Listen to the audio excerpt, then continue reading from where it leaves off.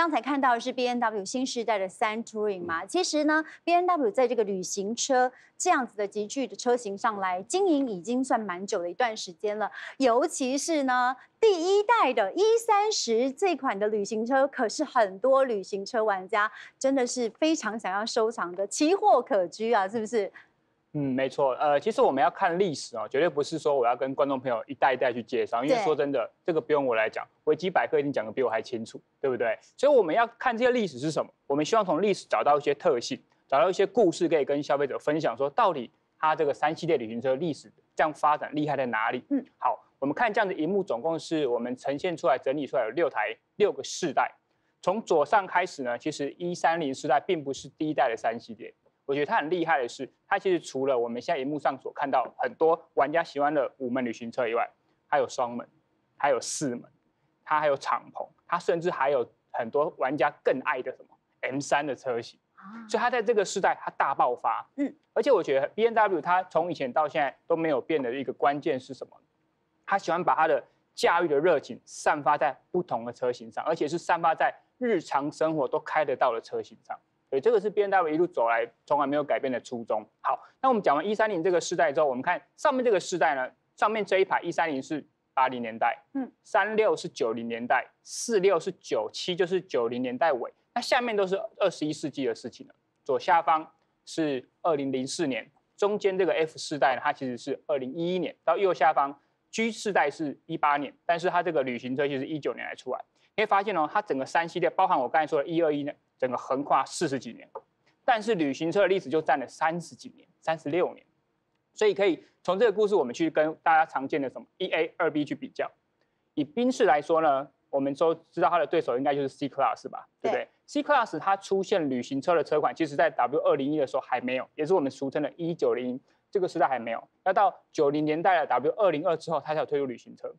哦，所以在宾士比较晚的啊，对，在还是九零是比较晚，所以在三系列跟 C Class 旅行车世代来说，三系列是比较久的哦。再来是说我们跟奥迪来比好，奥迪当然在 A4 的时候，其实 A4 是从九零年代才推出的，A4 才开始推旅行车，但是我们可以从以前八零年代，它叫做奥迪八十，其实也有旅行车，但是我们知道奥迪八十那时候跟三系列也好，跟 C Class 也好，我们那个整个的品质也好，整个在市场上的评价也好，双 B 还是有一定的优势。嗯，好、那为什么会这样讲？是因为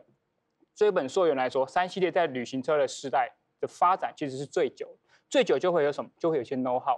对不对？比如说我们刚才艾大帮我们展示的后箱可以独立开启，后箱的后挡风玻璃那个挡风玻璃可以独立开启这个功，能。这个设计好棒哦，其实从一四六这个年世代开始就有了，嗯而且这个好处，我相信有些观众也会说啊，其实旅行车有有些修旅车也有这个功能，但是哦，刚才罗哥讲过，旅行车比较低，你在拿东西的时候，像有些修理车后面比较高，所以你要拿东西好像在捞东西一样，那捞起那个什么综艺节目恐怖箱一样，有没有？有时候你还不一定捞得到，对不对？这就是差别。而且这个世代还有一个很聪明，叫做后箱底板直滑功能。嗯，开车辆开起来的时候，后面会有一个类似金属滑轨，帮你微微升起，避免你在开的时候有些后箱的行李会往后滑，减少它去滑动的机会。这个就是他们发展三十几年旅行车的一些 know how，这也是为什么我们从这个历史中找到这个这个车型的一些特色，跟大家分享。嗯，所以其实 B N W 在旅行车这一块领域啊，真的深耕蛮久的。但是面对了新世代的一些车型来说的话，B N W 三 Touring 的确要遇上它的强劲对手啊，那就是宾士了。那我们来看一下，宾士面对这个 C Estate 来讲的话，这两款车如果消费者喜欢旅行车的话，艾达帮大家来分析一下，我们到底要怎么选呢？其实双 B 啊，一直是互相余量情节，啊，对，但是其实他们两个品牌互相彼此非常非常的礼貌哦。嗯那当然在车辆的一个设计上面，我觉得蛮有趣的。你想想看哦，我们以现在 G 二一的三三零 i Touring 来说，它对上的就是 C 三百 S 的 AMG。我刚刚讲了，它的动力啊是完全一样的，两百五十八匹的最大马力。那扭力的部分呢，则是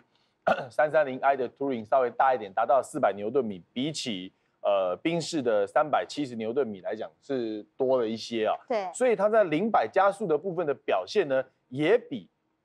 这个 C 三百来的更快一些些，从五点九九秒跟六点零秒的一个这个差距，虽然差距只有零点一秒啊，你会说零点一秒没什么啊、如果你真的红绿灯起步跟人家油门踩到底的时候，你就会发觉零点一秒其实差了蛮远去的哦、那再来，刚刚我们也非常推崇的一个叫做它独立后后面开启式的一个后挡风玻璃，也是 B N W 独有的一个配备，我觉得这个配备其实是相当不错的。那再来，像现在像宾士 C 三百 S T，它就有这个全套的这个免钥匙的功能哦。嗯，像我那个时候买的时候只有半套，还被我老婆耻笑。呃，我也没办法，因为那时候很缺车嘛，没得选嘛，就是呃有车交就不错了哈。所以，但是在以这个智慧钥匙的部分来说呢，B N W 的智慧呃免钥匙系统，它是属于智慧型的免钥匙，其实在程度上面来说。呃，跟宾士还是有一些些差距哦。再来，刚刚讲的后箱底板的止滑功能也是这个 B N W 独有的。那再来，中央的一个触控荧幕，我们知道刚刚讲的是十点二五寸，但是呢，宾士它不能触控，它没有触控的功能，因为它算是旧系统。是，它是旧世代的。对。而且，如果以现在新世代的宾士来讲，有什么 M B U X 的那些呢，在现在的 C Class 上面，它还没有办法实现啊，这个是有比较差别的一些地方。那在原厂的一个中文导航系统啊，那像呃宾士，你必须要选什么 Command 啊，或这边就是那个 Gami，其实那个真的是速度蛮慢的。有的时候我们从车子设定好导航，然后呢开出去，我都已经上高速公路了，它还在那里一直转圈圈。你是说原厂的导航啊？对，宾士它那个 Gami 那个系统啊，嗯，还在转圈圈规划路线。我想它运算晶片可能是有一点差距啊。那再来，我觉得非常非常非常棒的这样讲三次啊，就是抬头显示系统，因为这个可以降低驾驶人呢整个在低头的一个状况。那以三三零 i Touring 来说，它就是标准配备的是有原厂的抬头显示屏，而且它呈现的资讯非常的丰富，又是彩色的。不过呢。B N W 三三零 i Touring 的售价呢，是比宾士 C 三百 S T 来的贵一些些的。我们 B N W 的售价是两百八十五万，那以宾士来说呢，是两百七十九万，有着六万块钱的一个这个价差。但是你要想想看，一个是新世代，一个是旧世代，一个是你买的车子大概可以开八年，都是最路上最新的车子。可能如果你买的是宾士的这个 C 三百 S T 呢，大概再开个一年半两年，马上就要改款了。呃，为什么要叫我讲这个呢？真的是，但是是，但是我讲是事实的。所以有的时候，因为新时代的车，毕竟它的配备也比较科技、比较先进一点，是没有错。所以有的时候不能相提并论，因为毕竟世代上的不同。但是现在来说，这两个产品就是一个非常精准的竞争对手。因为买三三零 i Touring 的一定会去看 C 三百 S T M G，就这样。选择考虑 C 三百的人，一样也会去看三三零 i touring，所以这个。必要的时候，我们还是要做一些分析给大家知。其实喜欢旅行车的不只会看双 B 这两款车哦，可能他也会去跑去看奥迪的这个旅行车啦，甚至于是 v o v o 的旅行车，对不对，志奇？其实，呃，以这两个品牌来说，我们看到制作单位列出来的例子是奥迪 A 六的 Avant 以及 v o v o 的 V 六十。好，首先讲一下为什么是 A 六，这个以集聚来说不太一样，因为呢，在台湾市场、啊。A4 这个暂时的先退出一阵子，因为它的新时代小改款的车型还没有到台湾了，所以就先放 A6。不过以 A6 来说，因为随着奥迪在近年市场的一个操作，它的售价其实是有稍微压低一点点，那也吸引了一些原本是这个集聚的消费者。呃，考虑是不是要多花一点预算升级大一点点的车格？那如果呢，你对于我觉得，如果你对奥迪有可能过去也没有很久了，三五年的一个一个成见的话，新时代奥迪你真的要实际去看一下车子，因为它真的呃所有的设计语汇啦，然后科技的界面风格完完全全都不同了。A 六 R 棒其实给我最好的一个印象是，其实它的设计的比例是很不错的。那内装它的所有的科技界面基本上就是移植他们的当家旗舰 A 八很多的系统，包含两个荧幕啦、触控的回馈等等。呃，全数位的虚拟座舱，这些东西都是我相信，如果买旅行车的好爸爸会很喜欢这种东西啦，比较科技感，比较呃冷冽一点点的的风格哦。那它相比呃整体的其他品牌，在操作上，我觉得有一个小小的缺点，就是呢，很多人很喜欢奥迪的 Quattro 的系统，那你一定要买到顶规的汽油车型四五 TFSI 才会有提供。那目前入门的两个。呃，T D I 的柴油的动力都只是前驱的，这个是稍微可惜一点点的地方。不过它整体的呃设计啦、空间质感确实都已经大幅的提升。还有刚刚讲的价格的部分，其实稍微比较亲民一点点哦。那在 Volvo 的 V 六十呢，其实算是他们呃这整个新世代从 X C 九十推出到现在算走完的一个，就所有的车型都改过了。那目前大概就剩 V 四十还没有推出新款了。那 V 六十在这个部分呢，呃，我我觉得它的感觉上啦，它的尺码的定位稍微比 C Class 跟三系列感觉起来再小一点点。呃，而且其实包含它跟再往上的 V 九十就差异化就比较明显哦。但是所有的配备，我们知道 Volvo 只需要分动力。你没有没有等级要分，因为它基本上就包含最入门的 Momentum，基本上所有东西都是标配，可能就差在一些，例如 R D 上的 Four C 的电子悬吊啦，是抬头显示器这种小小的功能。所以，呃，我相信 Volvo 在如果你是喜好这个品牌的话，你在选车上是相当容易的，你就挑自己喜欢的动力，包含像是呃最新有这种 B 五的动力啦，柴油的，甚至 Plug-in Hybrid，在这上面都算是它呃常规范畴车型里面的主力，这个是跟其他品牌比较。不同的一点点的地方。嗯，喜欢这个享受自己 lifestyle 的朋友，除了选择旅行车啦或者修理车之外，我们其实发现哦，在豪华品牌的房车上面，仍然有不少的消费者喜欢这个房车的配置啦，甚至于它的动力的表现呢。如果说再加上了 Empower 或者是 AMG 的加持之下，喜欢开车的朋友，那真的就是非常钟情这些车款，对不对，小叶？没错，我们又要讲到 M Power 跟 AMG，好像又要讲历史故事了，好吗？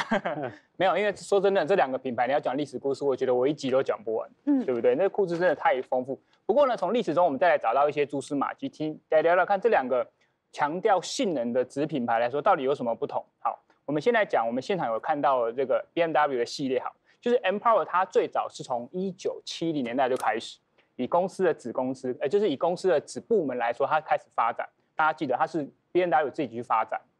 然后慢慢转到近近代，它是变成公呃变成一个 B N W 的子公司来说，它用子公司的方式来经营。好，那在 M G 来说呢，它其实一开始呢，如果大家熟知这个历史，应该都知道，它是宾士里面的工程师自己出去开的一个改装厂。那当然一开始他们改装厂表现的相当好，在各个赛事上都有很好的成绩之后，哎，宾士发现好像全世界在这个豪华房车或者豪华车坛的领域。有这个性能车款的需求，他就后来又把它再并购回来，现在也是变成宾士的一个子公司。所以呢，我们可以发现，在这两个品牌的发展之下呢，B N W 他们清楚知道说，我们自己的公司、自己的集团，基本上就需要这样子的部门，就需要这样子公司，因为我们都知道性能啊、操控、驾驭乐趣是这个品牌很重要的一个 D N A。没错。那宾士一开始发展，他们是想要打造一个世界上很好的车子，舒适豪华的车子。嗯。所以一开始他们其实并没有这样子的发展。再换一个另外角度跟大家分享，其实我们都知道 B N W 很有名的 M 三、M five 都是在一九八零年代相继出来的，一个八四年 M five，一个八六年 M 三，对不对？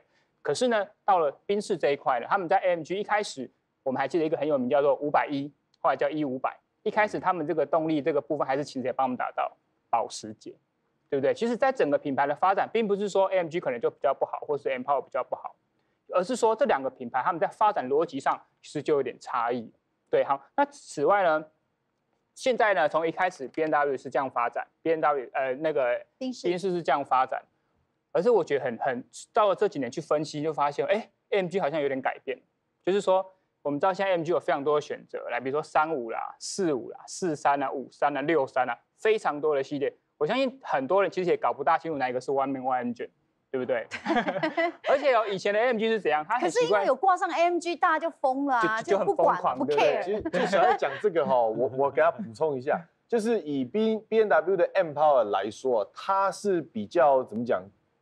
比较具有品牌的这个中央的一个这个思想，而且它具备有比较完整的一个历史及传承。那一直以来都是坚持在这个状态下去做操作。那 AMG 来说呢，我们刚小叶提到，AMG 是它这个。宾士里面的工程师，也就是叛徒的意思啊，跑出去外面开了工厂，然后又被宾士买回来。那其实 MG 系列这几年来跟非常多的这个外面的改装厂去做合作，包含的这个以前机械增压时代的时候跟 k e l l m a n 做一些合作，所以也就是说它的血统有时候会稍稍被受到一些质疑了。那再来就是刚刚小叶提到的，现在这么多 AMG，还有什么四三三五这个。到底以前像神主牌定位般那个 MG 在哪里？尤其是买高价 MG 的车主，有时候会觉得说，我的那个尊荣感不见。没错，嗯，这个是我相信很多 AMG 车主心里面在想的事情啊，因为它并不是你买的什么三五四三，它并不是 One Man One Engine 那样子一个概念啊，它的逻辑就不太一样。他觉得呃，你把 AMG 廉价化，当然他推出这样子的产品设计可以更亲民，对，可以让更多人拥抱 AMG，这是一个非常不错的行销策略，但是会让这些高端的 MG 的买家稍稍有一点点杂音在那个地方念念念、啊。嗯，对啊，而且像刚才艾大说的，这个有点廉价化的感觉，其实它的 B N W 上其实都维持的很好，比如说 M Sports 套件外观为主，M Performance 它有一定的性能程度改装，对到最顶级的 M Power，其实那个逻辑是非常的清楚的。是，而且它这个改一一贯的逻辑跟 AMG 不同的是，你会发现 AMG 以前它是用大排气量，好、现在可能是用很极端的动力。可对我们自己来说，我可能觉得四三、五三可能比较适合一般驾驭。真的叫真的叫我平常开六三，我真的会我可能就快冻没掉了。所以所以这个两两个的差别哈、并不是说谁好谁不好，而是你会发现整个品牌的一贯的这个逻辑其实是有点不同。